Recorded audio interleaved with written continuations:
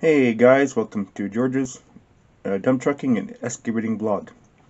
Well, we're going to be buying a, a, new a piece of machinery for my little business.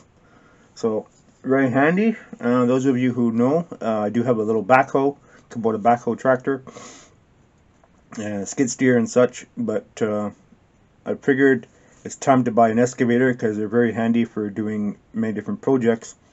And uh, those of you who know uh, about backhoes, they're a love-hate machine. They're good for what they're good for, but if you're doing ditching and landscaping stuff uh, or whatever you're doing, uh, you know, the mini you just can't beat you, you just can't beat a mini excavator. Uh, so I'm gonna try this one out for now, and if I feel like I need to upgrade to a bigger machine later on, well then I can uh, keep this one and then uh, rent this one out and then buy a bigger like a 33 or 40 or 57 or whatever um, bigger Kubota machine or a different brand or whatever as soon as make money right? So but uh, yeah so this is the one we're buying. I'm getting actually a few things with it. I'm getting a digging bucket with it and I think it's a uh, 36 inch grading bucket. And also another little attachment I'm getting with it too. Of course I'll getting the thumb on it too which is very handy uh, no point buying a excavator uh, without a thumb. It's just totally stupid if you do that because the thumb is very very handy. And um, I wanted to get uh, the um, a cab a cab machine, but the problem is if I want to work on it in my shop, then I obviously have to take the cab off to stick it in there with the cab. I can't get in because it's just it would be too tall. So I'm getting a also the open cab is about uh, five to fifteen thousand dollars cheaper. So I mean, uh, it's either creature comforts or uh, open cab. So I chose to go open cab. No big deal. I mean, I'm not gonna be doing much. Uh, I mean, if a guy's really really fussy, I mean, I guess you could put plexiglass on the sides and add a uh, external heater uh, for doing stuff in this early spring or late late fall. Keep your hands and feet warm, but you know, it is what it is.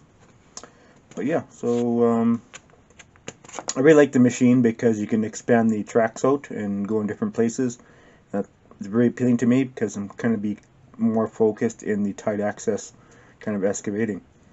So um, it is what it is. Um, maybe something later date. Maybe I want maybe change out the blade and make something a little bit more heavy duty for it. Um, so, you know, it is what it is. It is what it is. So, anyways, it's about the glare. But, uh, yeah, so I, uh, I hummed and hawed about buying a used mini excavator, but the thing is, to find a good used one, you may as well buy a new one because the price, especially here in Canada, I don't know about the States, but here in Canada, everything is skyrocket prices. And um, for what it is, uh, a guy just may as well buy a, uh, a new machine if you can afford it. I mean, buying used is fine and everything, but sometimes, especially here in Canada, you're going to be paying as much for, I mean, half the price on a used machine and been beat to hell, and you don't have no idea what's wrong with it supposed to buying something new, I mean, it has warranty and stuff, and you're the only operator for it, hopefully. And, uh, especially, well, if you have another, another partner or whatever, then obviously they're going to run it too, but if you're the only operator, then the thing, thing will last for a long, long time. Because different operators, um, you know, abuse uh, equipment, so, but anyways. Yeah, but anyways, there's, there's the machine there, so the Price is Right. Um, oh, The Price is Right. Remember that show? But um, yeah, so uh, definitely the price the price is right on this machine, and uh, I'm very familiar with running the smaller excavators. They're pretty handy. So, but yeah, so that's that's what I'm gonna be buying next. Another another freaking payment, but that's what life is.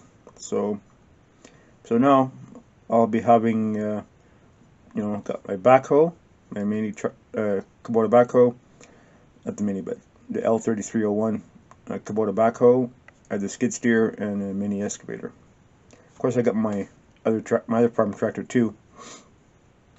But uh, changes are coming here pretty soon, and may not be farming anymore, and I'll be totally focused on my work and uh, running my excavating business. So, anyways, things things to think about and things to do, and new adventures coming. So, anyways, thanks for watching my video, and uh, when I bring my machine home, I'll definitely be uh, showing you guys uh, the new machine. Alright, and the other, thing, other things coming up and upgrades I've done on my uh, my little dump truck. And uh, yeah, stay tuned for those videos. Remember to comment, like, and share my videos. And if you have any questions, feel free to post that in the comments below. Bye now.